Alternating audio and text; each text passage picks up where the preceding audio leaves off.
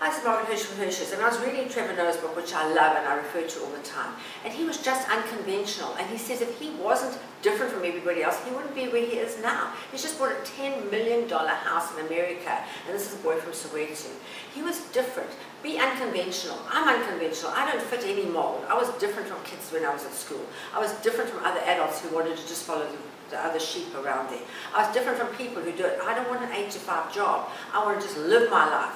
So today, go out and be unconventional. Don't follow the, the herd. Don't follow the sheep. Don't follow everybody else. Be yourself and be the best you that you can possibly be. This is Margaret Hirsch from Hirsch Selling for today. Thank you.